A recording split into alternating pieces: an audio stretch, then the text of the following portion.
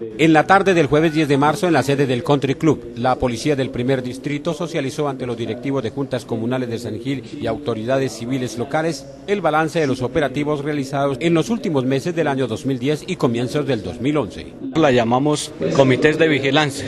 Anteriormente las estábamos realizando solo a nivel institucional, allá en el, en el comando, solo para la Policía Nacional y con algunas autoridades.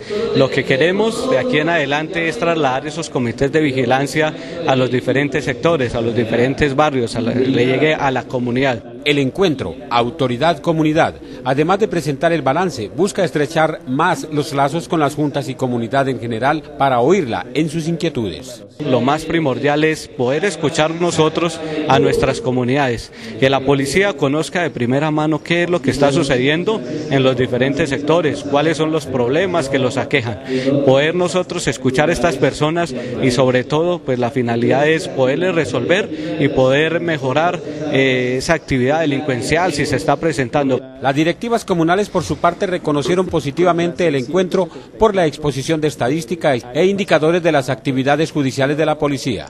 Y eso permite pues hacer una indicación de cómo va la cómo va todo ese proceso policial, eh, qué está haciendo la policía en San Gil.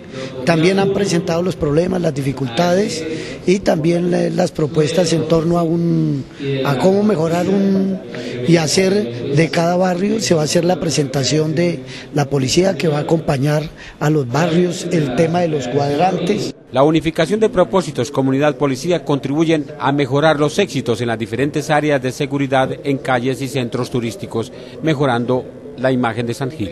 Ese binomio policía-comunidad se fortalezca en la ciudad. Si usted mira dentro de los indicadores y en la presentación del informe, eh, hay una participación muy activa de la comunidad en los temas de, denuncia.